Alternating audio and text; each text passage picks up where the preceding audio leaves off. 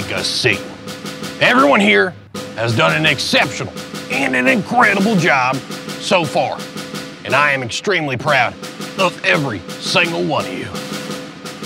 Except for one. Oh, someone's in trouble. Carl, Yes? do you want to be here, son? Yes, sir, Mr. Seahorse. Don't call me that. Don't call you what, Mr. Seahorse? Mr. Seahorse. No, I'm Carl. Don't call me Mr. Seahorse. Oh, sorry, Mr. Sergeant Seahorse. Now listen here, Carl.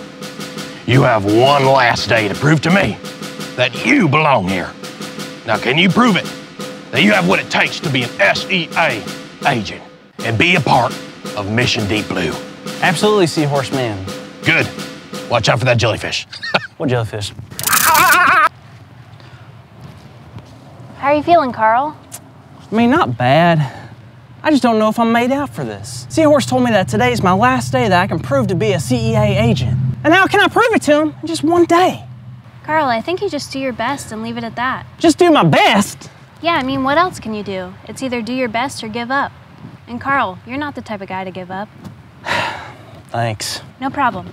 Let's go. Okay. I'm okay.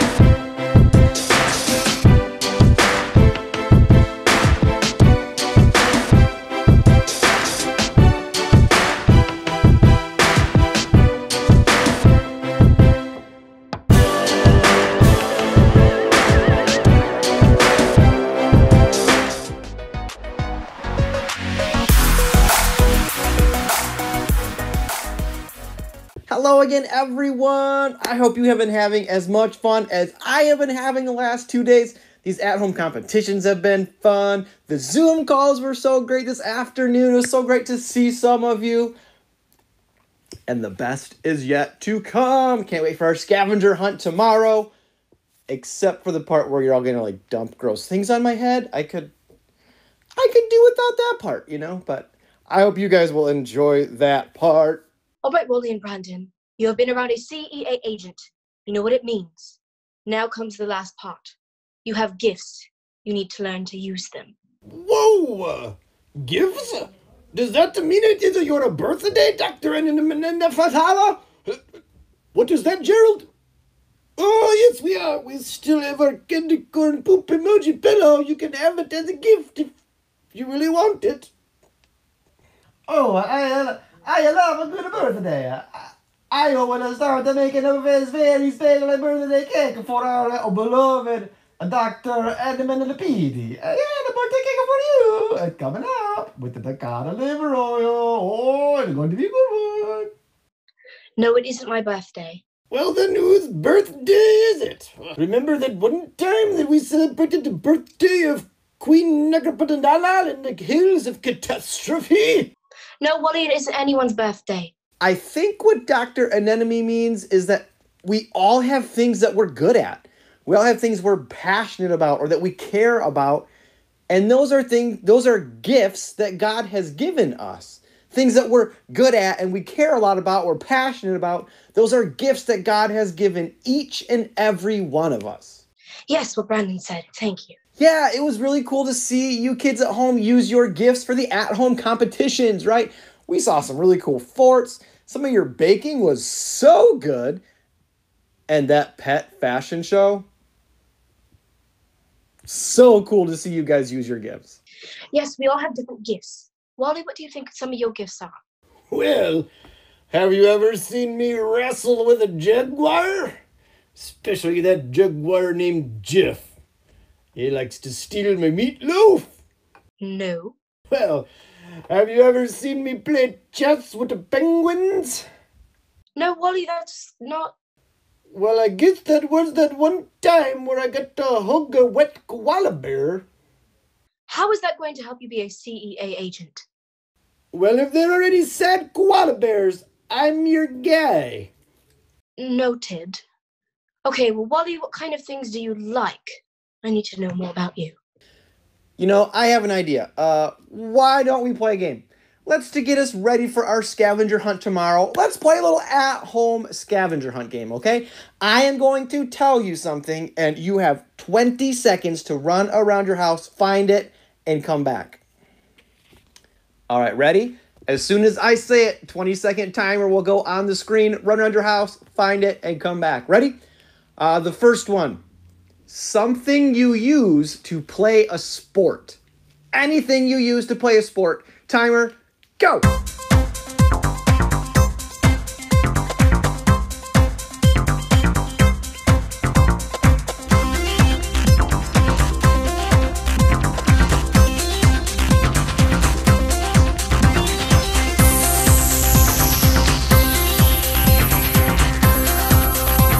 All right, number two, a musical instrument. Anything you use to make music. 20 seconds and go.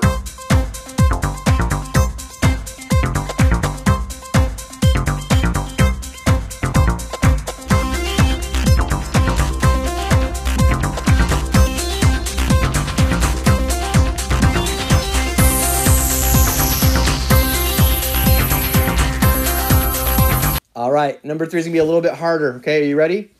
A scooter, a bike, or roller skates. Really anything with wheels. Ready? Go.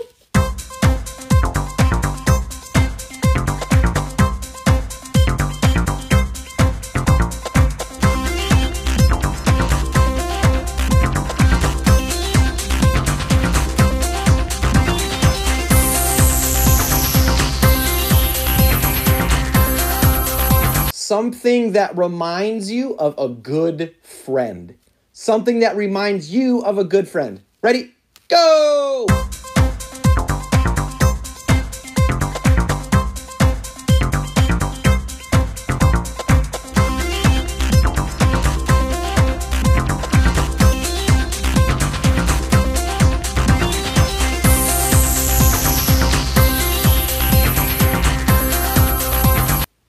a Bible verse. Ready?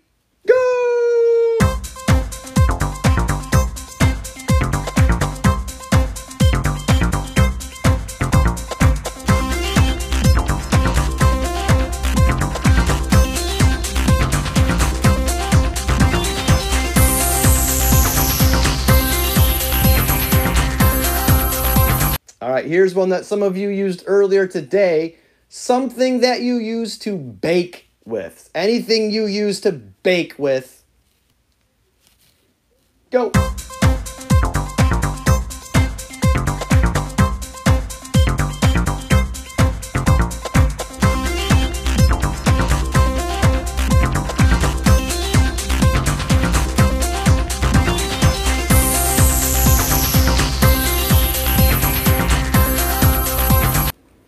One of Wally's favorites. Ready? Go find candy. Candy. Go.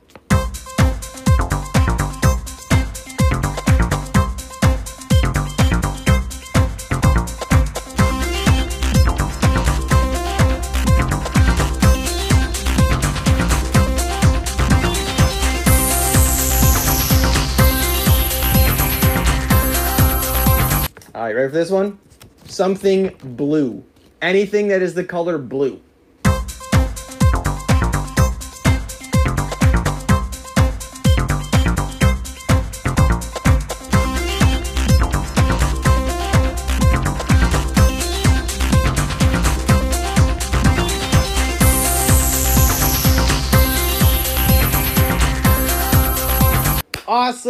Now it is time for some music worship where we sing songs about how much we love Jesus and how much he loves us. It's a reminder about how much Jesus loves us. We're going to stand up, do some motions, and sing.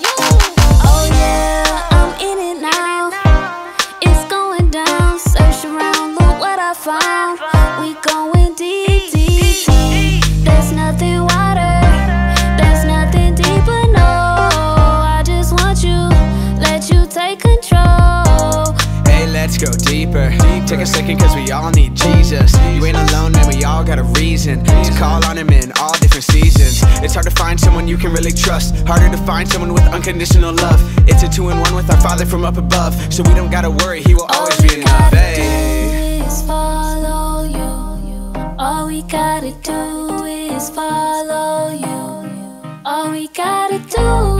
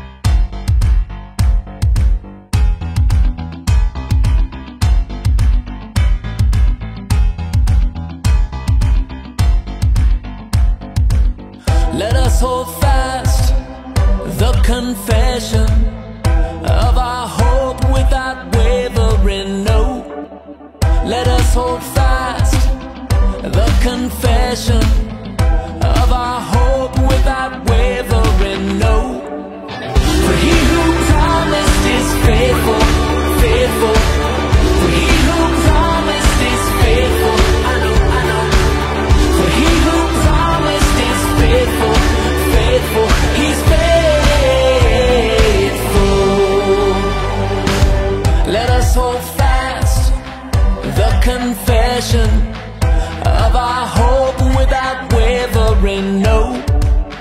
Let us hold fast the confession of our hope without wavering, no. For he who promised is faithful, faithful. For he who promised is faithful.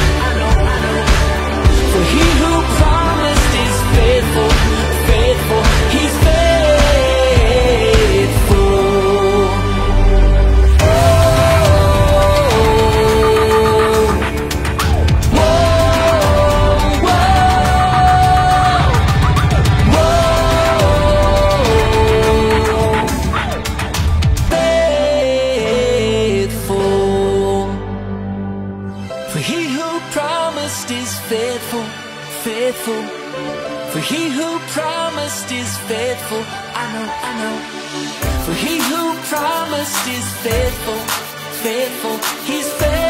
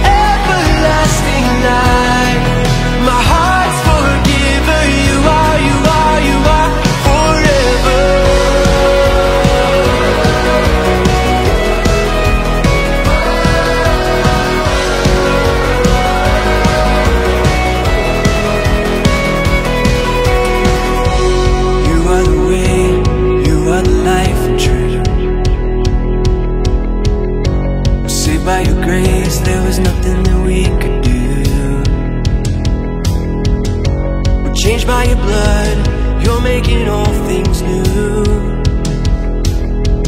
With your spirit in us, we're sealed for a life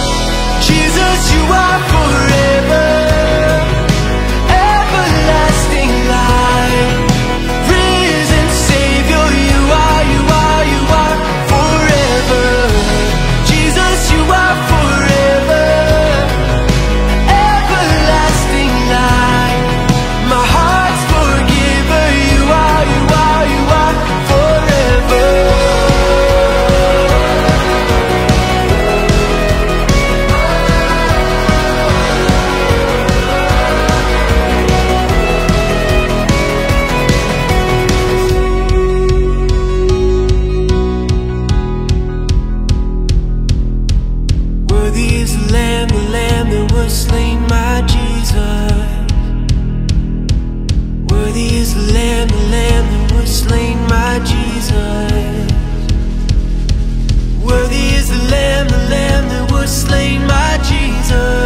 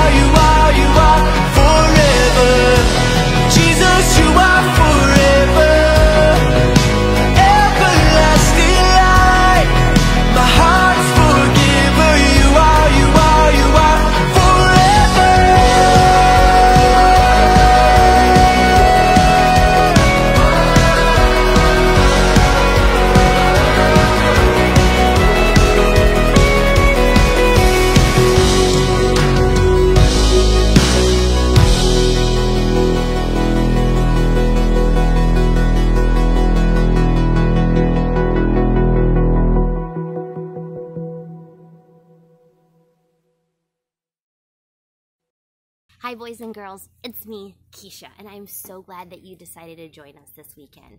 It has been a fun weekend, a silly weekend, and we are so grateful to share it with you. I do want to share a story with you from the Bible. It's a great story, and I think a story that you guys are going to love. So, Jesus was traveling and he was sharing stories and talking about God, and people loved following Jesus. They went wherever he went. They kept following him, and he would talk and share stories and teach and preach, and people, masses of crowds, would just follow him wherever he went. There was one day where Jesus is actually talking on a hill, and there's probably 5,000 plus people, so like a ton of people listening to Jesus tell stories about God and about love and about peace. And all these people just sat and listened. And Jesus must have been on a really good roll that day because he kept talking like all day long. And eventually, you could hear it the grumblies, the rumblies, the growling of bellies. Like you know when we get hungry and our belly growls, I feel like mine always growls when like the room is silent and then my belly will growl out loud. I bet you know what I mean. So all these bellies of all these people started to rumble and grumble and people were hungry. And the disciples are like, Jesus, people are hungry. We need to send people away. Like, it's time for dinner. Like, hello, they need to eat. Jesus, like, feed them. Like, no, like, they're hungry. Like, we don't have food. Jesus, like, feed them. So they went into the crowd and they're looking for food. How are we going to feed all of these people? How are we going to feed them? And they came back, and this little boy offered him his lunch. We know it was about fish and bread. That was it. And his mommy probably packed it for him, so it was just enough for him to eat. But you know what? It's all he had, but he still chose to give it to Jesus. He gave Jesus all that he had, and he said, Jesus, take this. I offer it up to you. Do as you need, do as you wish with it. You know what Jesus did? He took that little boy's gift, his lunch. He took all that little boy was offering to him and he prayed over it. And you know what? The food multiplied. Not only did it multiply, like it really multiplied. Like there was enough food to feed everyone there. And not only there was enough food to feed all of their bellies full, they actually had enough food for leftovers. So like everyone got to take home a doggy bag. Like, how great is that? And you know why? Why their bellies were full, why they had so much food left over was because one little boy offered all he had to Jesus. So see, when we use the gifts God gave us, when we use what we are, we have, sometimes it's, some of us are really good listeners. Some of us have great voices. Some of us are good at praying. Some of us are great at talking to people. Some of us are good leaders. Some of us stand up for what is right really easily. And when we offer what we have to Jesus, He takes those gifts and He uses them.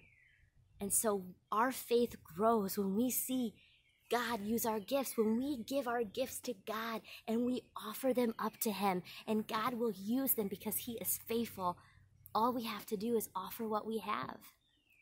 And what we have is different because we're unique, but we all have God given gifts in us.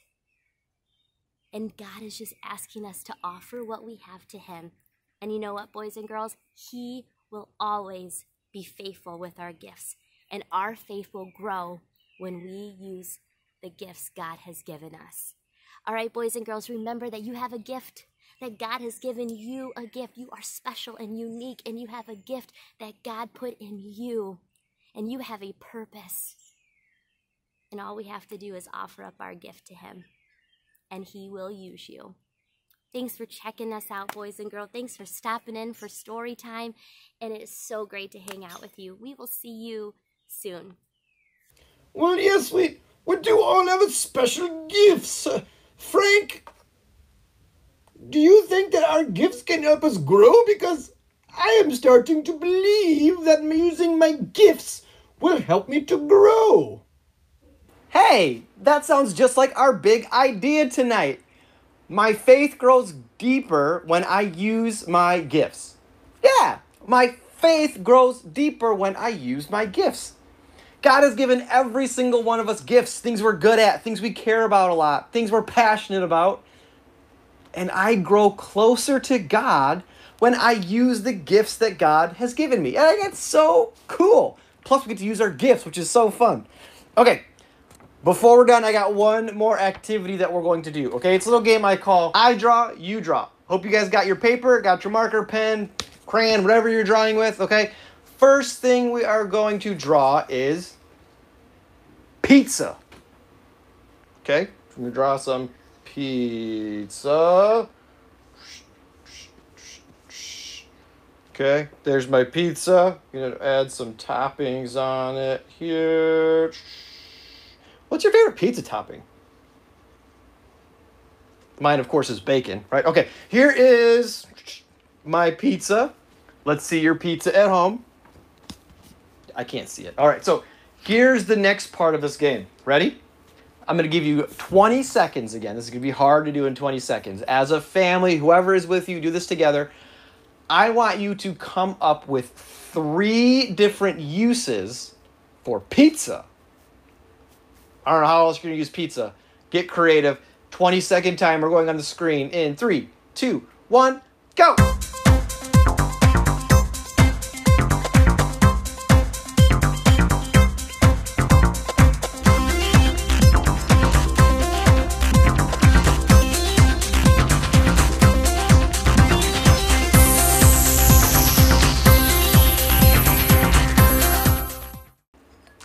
I draw, you draw, part two. I hope you guys came up with some really awesome ways to use pizza. Like making friends or feeding neighbors. I don't know. uh, Throwing at your sister. Don't do that one. Okay, here we go. Our next one is a coffee mug. All right? I'm to draw one. You draw one at home. Ready? Go. Coffee mug.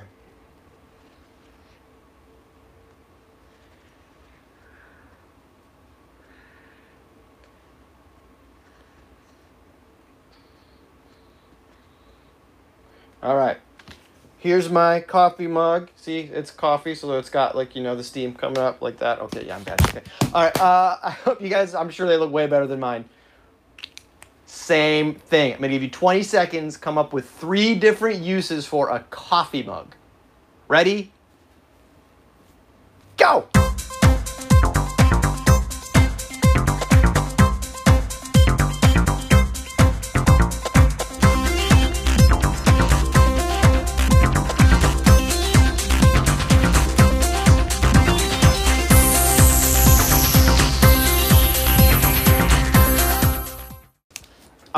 Last round of I draw, you draw. This time we are going to draw a book, okay? Draw a book. You got room on your paper still, go get a new piece if you need one. Oh, that's not good. Oh.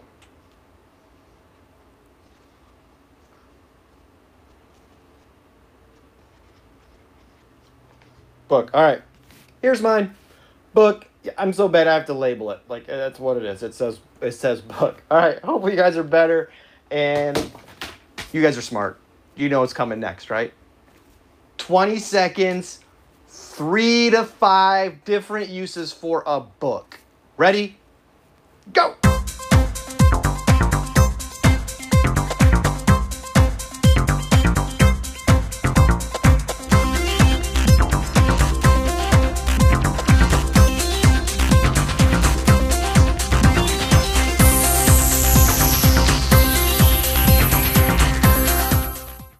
Hope you guys had some fun with that. Um, just like all of our pictures look different, all of our gifts look different too. Because God has created each and every one of us different with special gifts. And that's awesome. We should celebrate each other's differences. And just like there's different uses we all came up with for all of those things, God can use your gifts in a lot of different ways. The important part is the more we grow close to God, the more we will know what how God wants to use our gifts. Because God can use our gifts in extraordinary ways. And that reminds me and comes back to our big idea today, this this evening. I grow deeper when I use my gifts.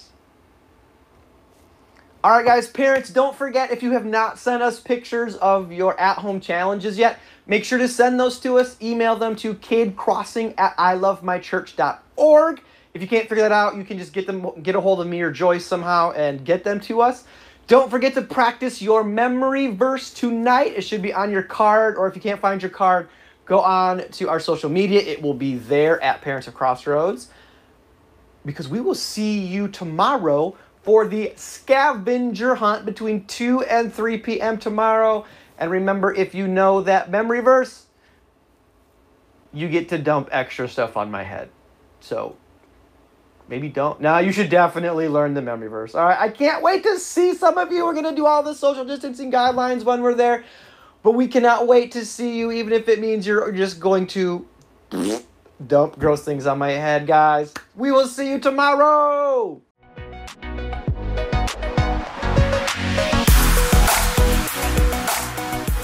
Carl, did you hear? I made it. I got selected to be an SEA agent. Wow, that's awesome. Have you heard back yet? No, I think I'm done here. Oh, Carl. No, it's okay. I gave him my all. You know, sometimes things don't work out.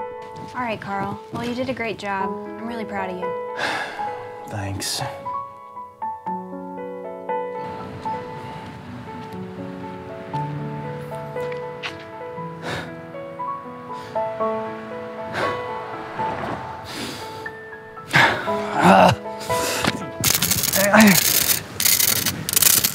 What are you doing? My dream is to be a CEA agent, and I'm not leaving this box until you tell me I can. CEA? It's S-E-A. It's on your sweater, man. Oh yeah, ah, I just figured because like the sea and like the ocean. That's ridiculous. Are you crazy? Yeah, maybe, but you need to know that I'll do whatever it takes to be part of Mission Deep Blue. You're standing in a box of killer jellyfish. They're gonna kill you. Wait, you think can kill you? Of course. Ah, Carl, you are insane. But that took courage. And courageous people are who we need on our team.